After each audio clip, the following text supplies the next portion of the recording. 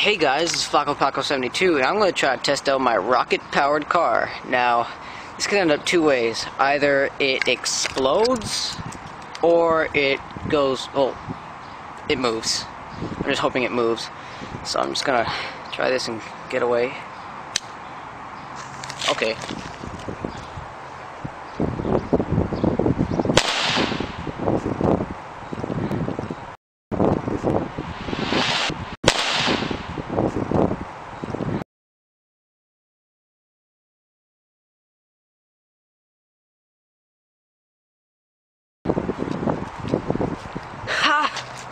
It moved! And it didn't explode! Nice! Wow. Oh man. So uh, thanks to Solar who suggested I do this. Okay, see ya.